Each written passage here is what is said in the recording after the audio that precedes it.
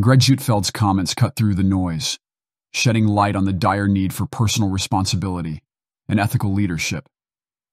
His criticism of Tim Walz and Kamala Harris isn't just justified, it's a wake up call.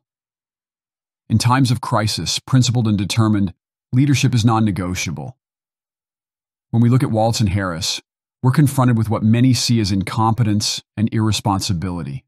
Well, you know, um, I, am always interested in hearing the repeat phrases that come up when something happens, and you could see the coordination. For example, all of a sudden the word "weird" popped up last week mm. over and over again. His idea. And what's the word now? And Jessica used it: Midwestern. So Ezra mm. Klein says Tim Walz is the Midwestern dad Dems need, and then Jessica mentions the Midwestern values. If you Google Midwestern, you're going to get Tim Walz. So what is Midwestern? Is Midwestern looking at riots and saying it was caused by the lack of equity and inclusion. Is that Midwestern? Is causing is calling those events exciting?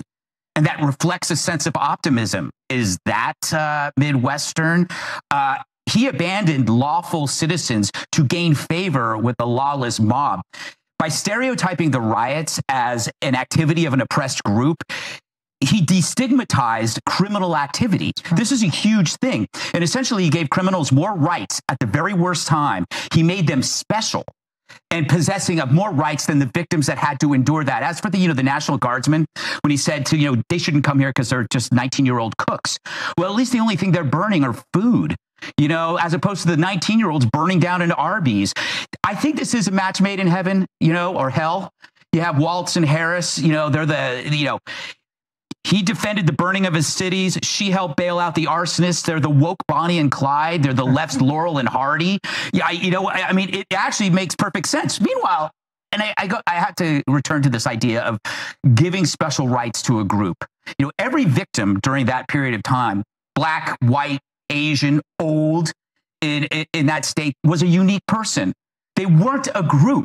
Therefore, therefore, they weren't conferred special rights. Right. And so the cowardice of Walz and Harris had them bow to the individual criminals because they were seen under the group of the oppressed. Meanwhile, individual victims became subservient to the special rights of the people they, that were preying upon them. That's the thing. It's only one thing. It's only one thing. All those other things you mentioned are disgusting. He is a snitch. That's gross. He's a male Karen with power and a potbelly. But you know what? That defense of what went on post George Floyd, that everybody needs to know who that is. Gutfeld's remarks paint a vivid picture of failure. In a situation akin to civil war, the public resonates with his portrayal of Walz and Harris as facilitators of chaos and illegality. These leaders, perceived as putting the interests of criminals over law abiding citizens, advocate for the destructive and then push for their release. This is stance starkly contrasts with the conservative values of law and order, personal responsibility, and the protection of individual rights. Gutfeld's comparison of Walz and Harris to notorious duos like Bonnie and Clyde, or the bumbling Laurel and Hardy, underscores their inefficiency and the damage their actions inflict on social stability and justice. Rather than addressing the genuine needs and safety of voters, these politicians are seen as pandering to specific groups and acting rashly. They bypass the obligation to protect all citizens, choosing instead a path that exacerbates social unrest. The critical descriptions Gutfeld offers highlight significant flaws in their leadership qualities and decision making processes. By emphasizing their support for arsonists and rioters, he portrays them as leaders lacking the resolve to make tough, principled decisions in chaotic times. This perceived weakness and lack of determination can erode public trust and faith in their leadership capabilities. Furthermore, the comparison to Bonnie and Clyde casts them in a light of recklessness and irresponsibility, further damaging their credibility.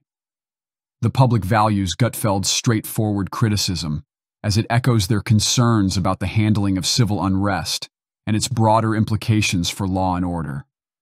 For many, Walz and Harris symbolize a Democratic Party more invested in social justice rhetoric than in practical, effective governance.